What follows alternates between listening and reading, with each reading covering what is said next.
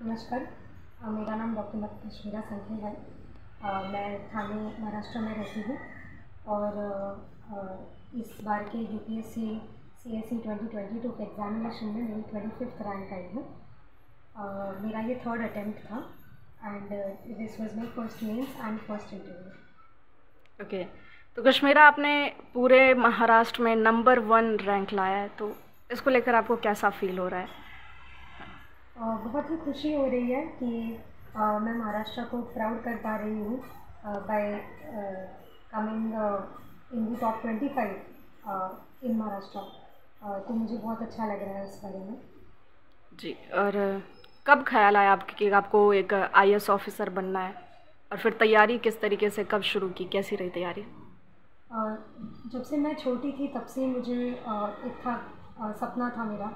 कि civil service हमें join करना है। बचपन से किरण दीदी जी और ऐसे बहुत सारे ऑफिसर्स जो काम करते हैं देश में और जो, जिनसे लोगों का भला हो रहा है, वो देख के उनसे मैं प्रेरणा लेती थी। तो वहाँ से मुझे मोटिवेशन आया।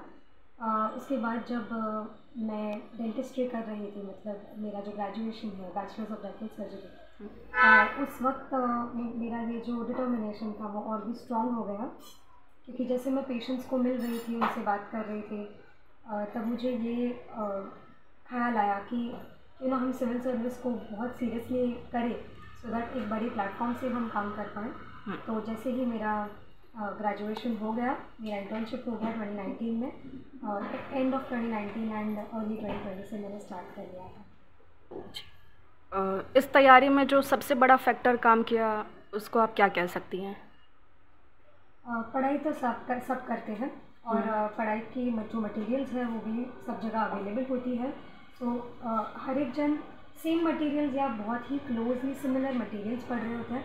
अलग ये होता है कि तुम कितने बार रिविजन करते हो कितने बार उसको लिख के निकालते हो and your state of mind और these are the few things जो मुझे लगते हैं बहुत ही इंपॉर्टेंट है एक कैंडिडेट में जो होनी चाहिए। मेंस कितनी बार आपने क्लियर किया है? कितनी बार में? अ, मेरा ये फ़र्स्ट मेंस था। ओके इंटरव्यू में किस तरह के सवाल पूछे गए?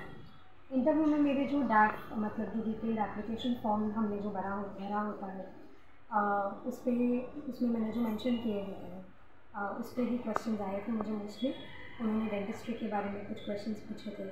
आ, कुछ क्वेश्चन उन्होंने नेचुरोपैथी के बारे में पूछे थे क्योंकि मैंने डिप्लोमा कोर्स किया है नेचुरोपैथी में। आ, फिर उन्होंने इन दोनों को कनेक्ट करके मुझे पूछा था कि आप ये दोनों चीज़ों को कैसे देखते हैं? क्योंकि अल्टरनेट मेडिसिन और एलोपैथी में बहुत बार माना जाता है कि टू एक्सट्रीम पोल्स है। मैंने उनको आज जवाब दिया था कि rather than being two extreme poles ये एक दूसरे को कॉम्प्लीमेंट करते हैं। तो ऐसे कुछ सवाल आ, कुछ सवाल थाने डिस्ट्रिक्ट के आ, कुछ सवाल साड़ी पे भी पूछे गए। ओके तो आपने इंटरव्यू में साड़ी पहना था? Yes. सोशल मीडिया किस तरीके से आपने सोशल मीडिया यूज़ किया था? तैयारी कैसी थी? और क्या सोशल मीडिया से दूरी बना लेनी चाहिए जब आप इतने बड़े एग्ज़ाम की तैयारी कर रहे हैं या फिर सोशल मीडिया हेल्प करता है आपको इस चीज़ में? सोशल uh, मीडिया सिर्फ़ है इट्स जस्ट देयर आप पे डिपेंड करता है कि आप उसे कैसे वे में यूज़ यूटिलाइज कर रहा कर रहे हो या फिर आप उससे डिस्ट्रैक्ट हो रहे हो। तो जैसे WhatsApp Instagram these are such platforms जहाँ पे बहुत कम आपको वैल्यू एक्सक्यूज मी आपको बहुत कम वैल्यू मिलेगा और चांसेस ज़्यादा होते हैं कि आपके डिस्ट्रैक्शन हो। तो इसीलिए मैंने तीन साल से इंस्टाग्राम व्हाट्सएप इनसे पूरी दूरी बना के रखी थी। अदर देन दैट यूट्यूब पे अगर कुछ कुछ मुझे डाउट आए स्पेसिफिकली तभी ही मैं यूट्यूब पे जाती थी। नहीं तो यूट्यूब पे भी मेरा जाना बहुत ही कम होता था। मैंने सब फोकस इनवर्ड रखा था सेल्फ स्टडी पे रखा था self focus and focusing on core subjects and basic concepts ऐसा रखा था मेरा अप्रोच ओके तब आप आई ऑफिसर बन चुकी हैं और आपकी पोस्टिंग कब होगी कहाँ होगी इस बार में कोई नॉलेज है? आप अ, ये हमारी ट्रेनिंग होती है अ, एक साल की जो अराउंड अगस्त चालू हो जाएगी और उसके बाद हमें पता चलता है कि कैसी हमारी पोस्टिंग है ओके इसका क्रेडिट आप सबसे ज़्यादा किसे देना चाहेंगे? मैं मेरी फैमिली मेंबर्स को इसका क्रेडिट देना चाहूँगी, क्योंकि वो, उन्होंने कॉन्स्टेंटली मुझे सपोर्ट किया है और मोटिवेट किया है। जब भी पहली दो बार मेरा फ़िल्म नहीं हुआ था, तभी भी स्पेशली तभी तो वो और जो मेरे एक्सटेंडेड रिलेटिव्स हैं, मेरे फ्रेंड सर्कल के जो लोग हैं और मेरे मेंटर्स जैसे कि महेश भागवत सर जिन्होंने इंटरव्यू के टाइम काफ़ी गाइडेंस दिया था। तो ये मेरे हम्म, थोड़ा सा अपने पेरेंट्स के बारे में बता दीजिए। मेरे माता पिता मेरी जो माँ है वो निसर्गोपचार मतलब नेचुरोपैथी प्रैक्टिशनर है और मेरे पिताजी एक प्राइवेट सेक्टर में काम करते हैं। सॉरी लास्ट क्वेश्चन अब आपको कैसा लग रहा है? और आई ऑफिसर बनने के पहले और अब लाइफ कितनी चेंज हुई है पिछले दो दिनों में? काफ़ी हेक्टिक रहा है एक्चुअली हाँ और क्योंकि जब से न्यूज़ पता चली है तो बहुत लोगों के कॉल्स आ गए हैं विश करने।